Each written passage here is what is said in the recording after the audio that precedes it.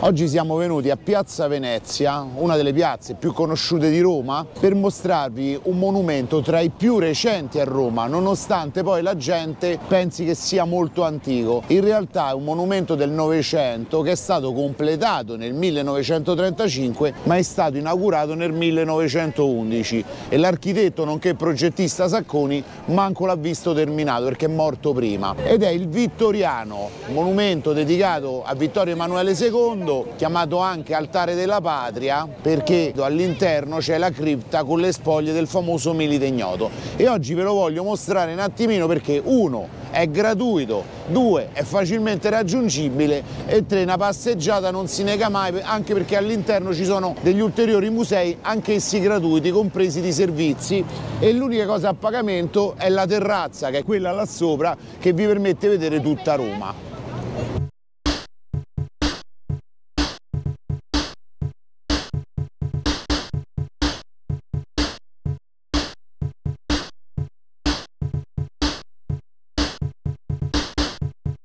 Prodotti Food Spring che vi danno energia, eccoli qua, l'Endurance Drink da utilizzare durante l'allenamento, l'Energy Aminos che può essere anche in confezione singola da portare in palestra e usare subito. Food Spring sponsor di Scuola di Botte. Bisogna dire che ci sono diversi orari per le diverse attrazioni all'interno, per esempio la terrazza panoramica come ho detto è un'attrazione a parte, si paga a parte. Museo Centrale Risorgimento, il Museo Nazionale di Palazzo Venezia perché poi da una parte c'è uno, da una parte c'è l'altro e poi la normale fruizione del monumento. La prima cosa da sapere è che se venite qua vi dovrete fare le scale. Certo potete usare l'ascensore, specie se siete persone con problemi di disabilità o motori, però dovete poi entrare di lato e arrivate già avviati. Invece la parte più bella è proprio farsi la grande scalinata che vi permette di ammirare comunque la grandezza del monumento, in particolare il fatto che ci sia molta disciplina dentro questo monumento perché si evita di andare in alcuni punti, il percorso è abbastanza guidato e poi con il fatto che i turisti sono molto indisciplinati certe volte c'è un controllo all'inizio, c'è un controllo a metà, c'è un controllo sopra perché la gente se no si mette seduta, bivacca, magna, scureggia, si scaccola ed è finito. Infatti una delle prime cose che vedete vedete è, è vietato, scritto a caratteri cubitali, c'è scritto non fare danni, non superare le barriere, non sedersi sulle gratinate, non consumare cibi, bevande e introdurre animali che potrebbero magari defecare o fare altre cose, non fumare e non gettare carte e rifiuti. Sembra tutto abbastanza normale, però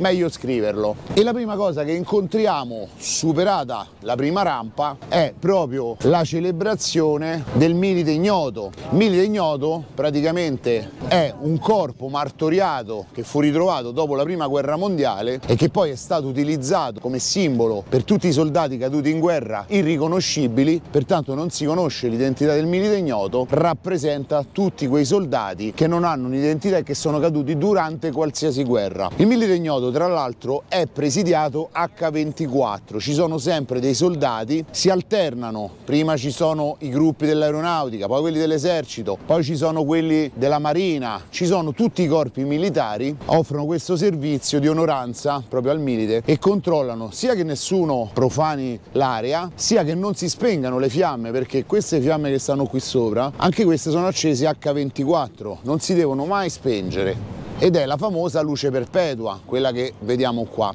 Quando ero ragazzino io era una particolarità che non si poteva entrare, dovevi guardarlo da sotto, da dove c'è quella barriera lì giù in fondo e vedevi sopra i militari che erano fermi praticamente qualunque fosse la condizione atmosferica, qualunque fosse la temperatura, qualunque fosse la situazione non si potevano muovere. Infatti la particolarità è che sono immobili proprio ad onorare il milite ignoto che viene qui rappresentato. E infatti la domanda dei ragazzini è sempre la stessa, papà come fanno se devono andare bagno, se si devono grattare, se gli scappa magari uno starnuto, eccetera. Ovvio che ci sono delle necessità corporali che a un certo punto non puoi controllare, però nel 99% dei casi si sale preparati e si scende magari al limite di qualcosa che ti scappa. Interessante anche vedere il cambio della guardia e il cambio del corpo, nel senso che prima c'è il cambio della guardia, diciamo dello stesso corpo, perciò l'aeronautica cambia semplicemente i suoi soldati di volta in volta. Poi quando cambia il corpo,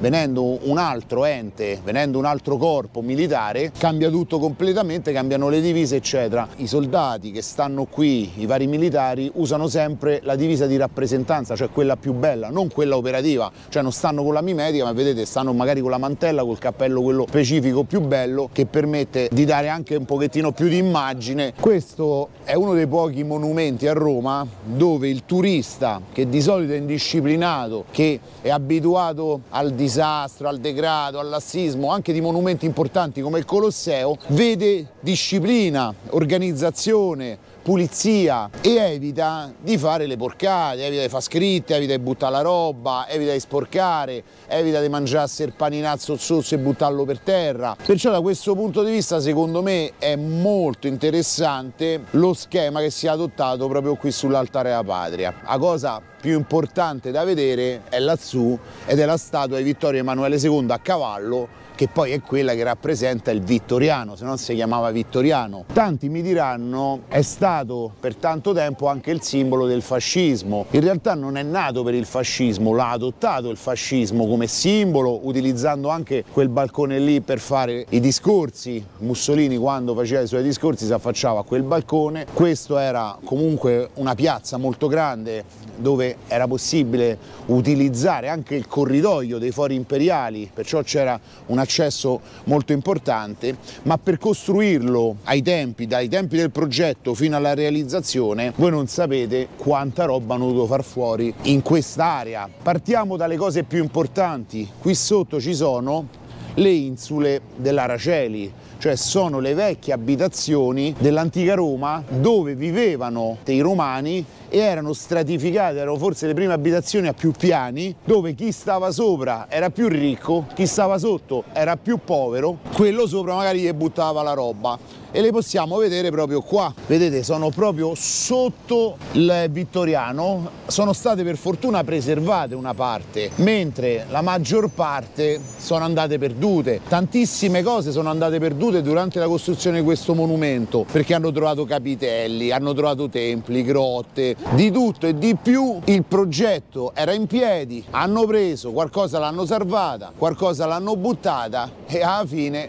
abbiamo questo monumento recente perché e tante cose della vera antichità sono andate perse. Se ci affacciamo in questo momento stanno facendo anche dei lavori qui sotto ed è particolare perché raramente si mettono a lavorare su cose così delicate, ma era talmente rovinata la parte relativa ai marmi, alla camminata intorno al palazzo che sono dovuti intervenire per forza. Di sicuro una cosa che io farei, visto il tipo di monumento, è lavorare sullo sbiancamento di alcuni scalini, di alcune aree che purtroppo, soggetti al tempo, soggetti all'inquinamento, alla fine questi si sporcano. Il vittoriano è stato anche soprannominato da alcuni la macchina da scrivere perché è stato molto odiato negli anni, sia per il discorso che tante case, tanti palazzi sono stati espropriati, buttati giù per costruirlo sia perché tante ricchezze antiche e storiche sono andate perse nel tempo questo ha creato molto dissapore tra i veri romani e anche perché molti continuano ad associarlo poi al fascismo perché sicuramente l'epoca più buia è stata quella. Poi quando è decaduto il fascismo questo l'hanno preso e l'hanno chiuso, l'hanno lasciato marcire tra virgolette.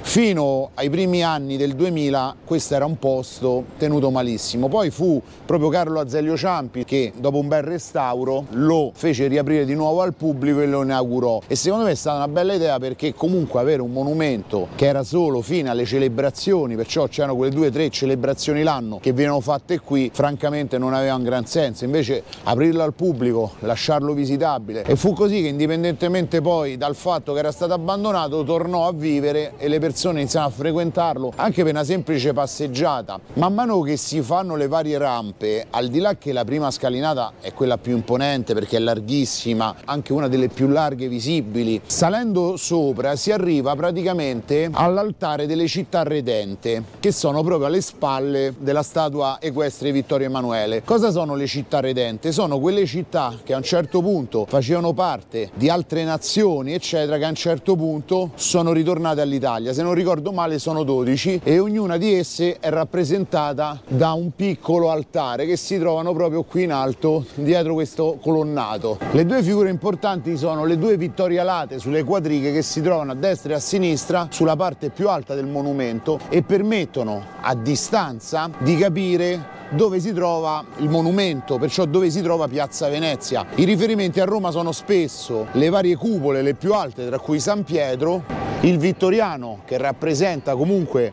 l'accesso al vero centro perché qui davanti a me c'è proprio via del Corso che se percorsa tutta permette di arrivare fino a Piazza del Popolo nonché Piazzale Flaminio e poi si va verso anche il Lungotevere e tutta la parte esterna.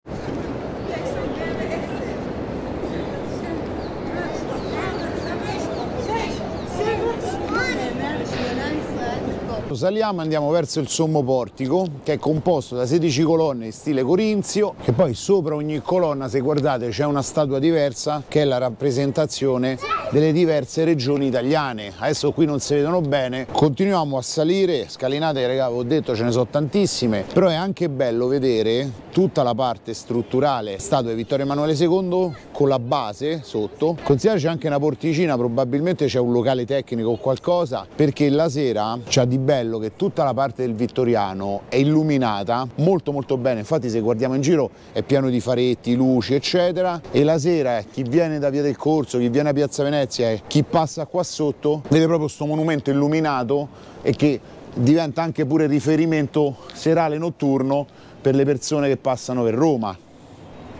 E qua da sotto il quadriportico poi c'è la piazza del bollettino. Perché si chiama così? Perché praticamente il generale Armando Diaz fece un bollettino col quale decretava la fine della prima guerra mondiale nonché la vittoria. Qui è stato praticamente inciso sul marmo e viene ricordato proprio per questo motivo. Qua sotto ci sono quelle che vi dicevo, le famose città redente, Fiume, Pola, Trieste, tutte quelle che erano praticamente annesse a nazioni diverse che poi poi pian piano sono state riportate in Italia.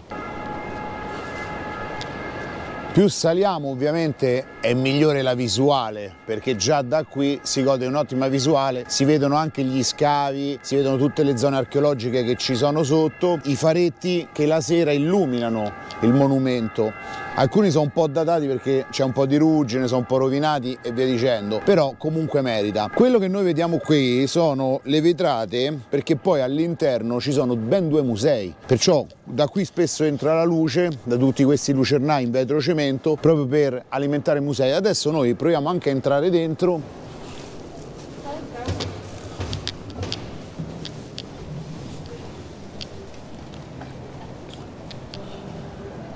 Qui usciamo dalla parte laterale c'è la possibilità di acquistare un biglietto che permette di accedere al museo interno, a Palazzo Venezia, alle terrazze, tutto in un unico biglietto che non è neanche costoso, francamente lo consiglio. Se avete tempo ovviamente di visitare tutti e tre i siti che sono disponibili con lo stesso biglietto, altrimenti continuate, vi fate una passeggiata laterale e uscendo da questa parte c'è di interessante che guardate i fori imperiali, fino ad arrivare a guardare il Colosseo, sempre che qualche gabbiano non ve becchi mentre state a guardare, che è un classico. Se noi adesso ci ci affacciamo da questa parte vediamo proprio lì giù in fondo il Colosseo. Ma anche qui sotto ci sono tutta la parte dei fori imperiali fino a giù ed è anche carino vedere tutta la parte che c'è giù in fondo che c'è qui dietro perciò si arriva a vedere tutta la parte del Rione Monti addirittura fino alla giù vedete le montagne è un bel panorama gratuito. Se continuiamo lungo la passeggiata troviamo anche un punto di ristoro che sta qui all'interno ed è questa è stata un'altra idea secondo me intelligente, quella di mettere un punto di ristoro dentro un monumento che a un certo punto dopo che ti sei fatto la scalinata e ti sei rotto pure le scatole, hai fatto tutto quanto, ti puoi prendere una cosa da bere, puoi usufruire dei servizi e tra l'altro la cosa più carina è che hanno messo le sedute belle a vista sul, sul panorama, perciò non sei costretto per forza a stare dentro dentro o al bancone.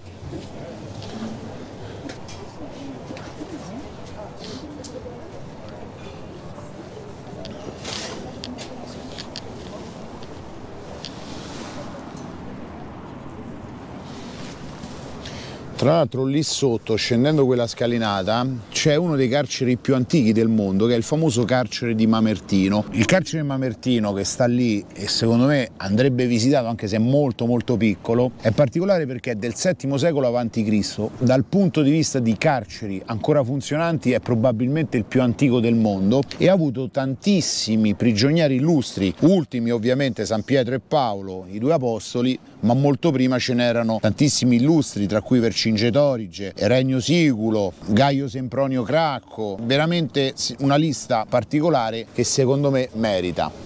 Una delle cose particolari è questa struttura di ascensori per la salita e la discesa dal monumento, dalla terrazza in particolare, che non c'era prima. Come vedete è stata costruita esterna ed è stata fatta anche bene perché è bella sia da vedere, non impatta tantissimo con il monumento, perché poi questo monumento in realtà confina con altre strutture. Qui accanto ci sono una chiesa molto importante, qui ci sono i vari istituti, ad esempio qui c'è l'Istituto per la Storia e il Risorgimento Italiano, l'unica cosa che veramente mi ha colpito in negativo sono i cavi in giro. Allora, io capisco che non era possibile fare delle tracce, perché che te metti a fare tracce su un monumento, su una struttura, però i cavi così sono brutti per davvero. Sicuramente non potendo fare le tracce, potevi fare una cosa del genere, tutta una serie di canaline di plastica ben poggiate, magari con un filino di colla proprio per non rovinare le cose. E qui c'è proprio l'accesso all'ascensore, chi non ha il biglietto non può salire,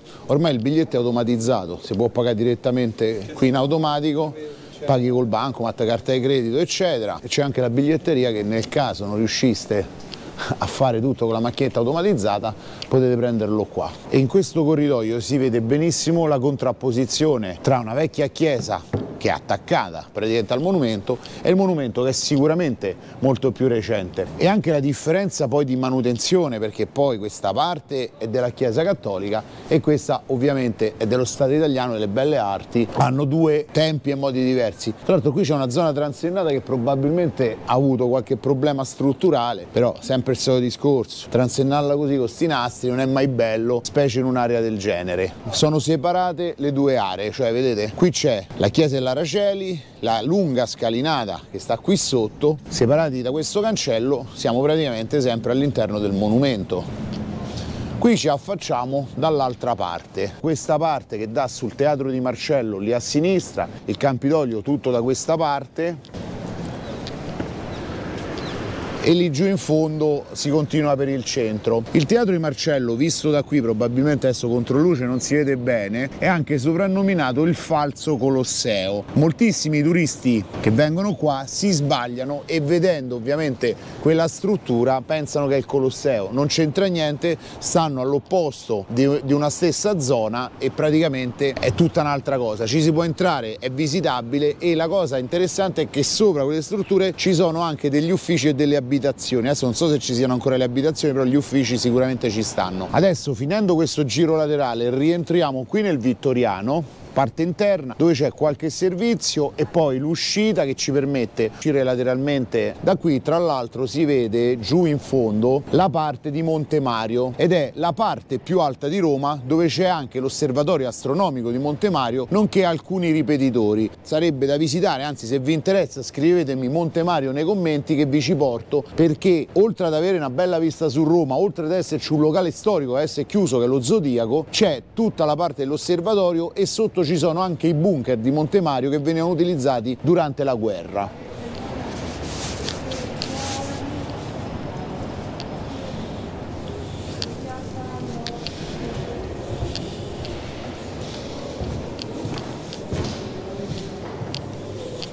Adesso passiamo all'interno ed è anche bello da vedere la struttura com'è all'interno perché non è solo esterno come monumento, ma anche all'interno sono stati curati tantissimi particolari. Poi la pavimentazione è una delle cose secondo me più belle, ma anche se ci affacciamo qui, oltre alle statue e tutta la parte rappresentativa dei soffitti eccetera, possiamo notare pure i portoni, le finestre, cioè tutto un dettaglio, uno sfarzo molto particolare. Ovvio che pure qua eh, il tempo pian piano eh, riporta sempre qualche danno, qualche crepa, un po' di sporcizia, però devo dire la verità, essendo un monumento recente funziona veramente molto bene. per esempio lì un po' di umidità è visibile, specie sulle parti quelle a contatto con l'esterno. Il fatto che vengano offerti i bagni qui non è una cosa da poco, specie per i turisti. Mentre scendiamo, al di là poi degli affreschi che si trovano, ci sono riprodotte tantissime colonne. Bello vedere questo portone che tra l'altro è mantenuto anche bene. Quest'area secondo me è quella tenuta meglio, basta guardare anche il restauro che viene fatto in maniera continua, anche sul discorso sia del legno che di tutta la parte affrescata.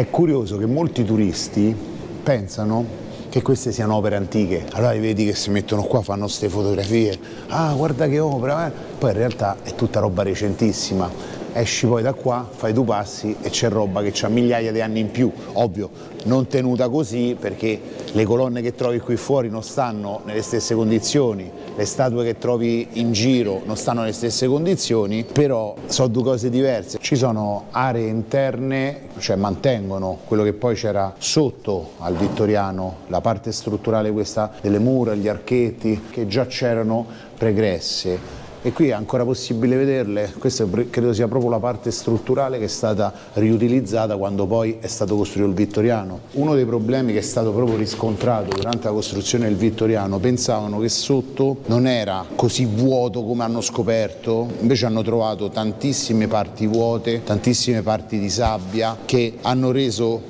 più difficile poi l'inaugurazione proprio del, del, monumento, infatti per quello ci sono voluti tantissimi anni fino a che poi, chiamiamola l'inaugurazione finale è avvenuta praticamente a morte avvenuta sia del progettista ma di tanta gente che ci aveva lavorato e qui c'è proprio la statua di Giuseppe Sacconi che è colui che l'ha progettato e colui che ne ha curato una parte della realizzazione.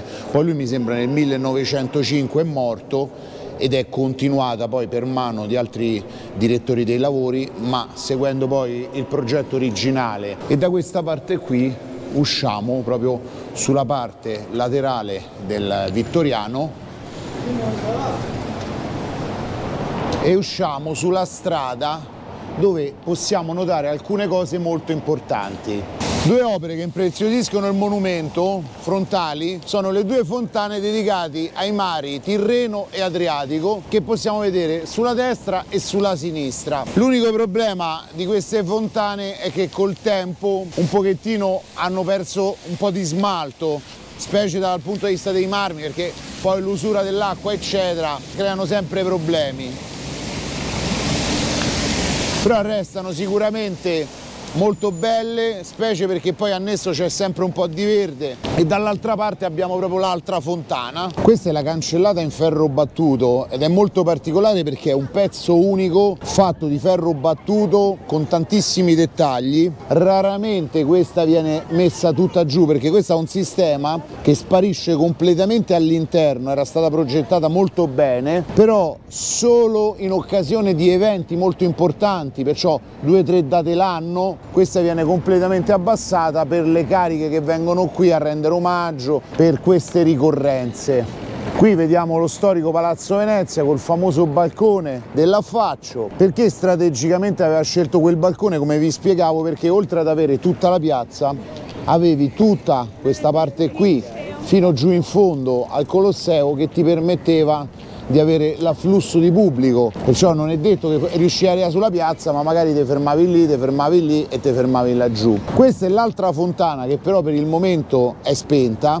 ogni tanto si può trovare intorno a questo monumento dei resti. Lì c'è la parte del rione Monti che è molto interessante. Se vi interessa un video anche sul rione Monti che poi era la famosa vecchia Suburra dove c'era la vera criminalità ai tempi già dell'antica Roma, possiamo fare un video e scrivete su Burra, che poi dà nome alla serie su Burra, nonché al film che si rifà alla criminalità di Roma nei tempi moderni. Vi faccio vedere invece la parte delle abitazioni dell'Aracelli che sono ancora visibili e questa è la parte che vi dicevo relativa alle abitazioni dell'Aracelli che stavano proprio sotto la Basilica dell'Aracelli che sono state per fortuna preservate perché nel momento in cui hanno costruito, se vedete a un certo punto, si sono fermate e le hanno mantenute. Sono ancora visibili, sono interessanti perché hanno un valore storico realmente importante e sono molto sottovalutate. Considerate che se adesso ce la facciamo qua sotto è pieno di sporcizia, questa cosa è gravissima,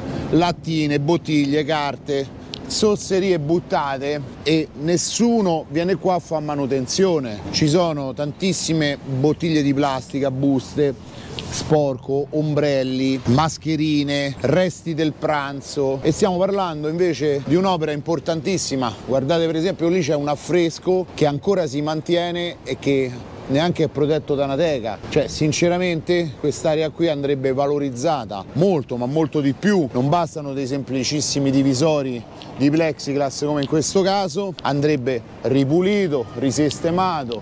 L'unica, vedete, l'unica cosa che c'è qua è la descrizione dell'insula dell'Araceli, che è questa.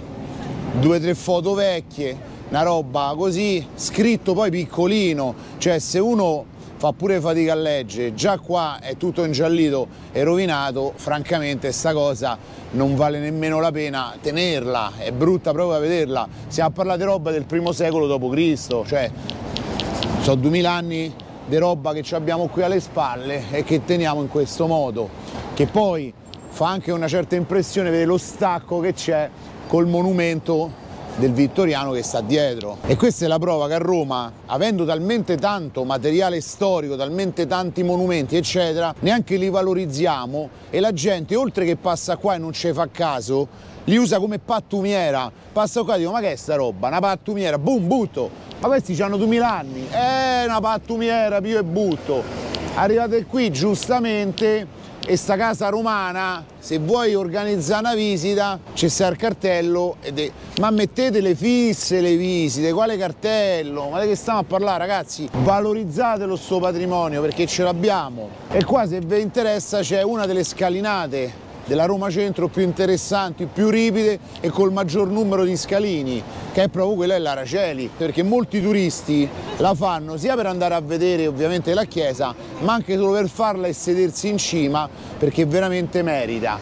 Lo consiglio anche per chi si allena, se vi fate una corsetta in centro a Roma la domenica, vi fate i fori imperiali quando sono chiusi, arrivate qua, vi fate tutta la scalinate, fate anche un lavoro importante e storico. Qui con le scalinate alle spalle, quella del Campidoglio, quella dell'Araceli, qui in mezzo una volta c'era la lupa, ci potrebbe essere un video che tratta leggende e storie delle strutture romane, dei palazzi romani, dove ci sono aneddoti e tutta una serie di cose. Se vi può interessare questo video scrivete leggende nei commenti e vi riporto alcuni aneddoti, alcune leggende che ci sono relative ad alcuni palazzi, alcune strutture di Roma che ci siamo tramandati negli anni e che è sempre bello ricordare così che poi lo realizziamo. Io per il resto adesso vi saluto e ci vediamo al prossimo video, ciao!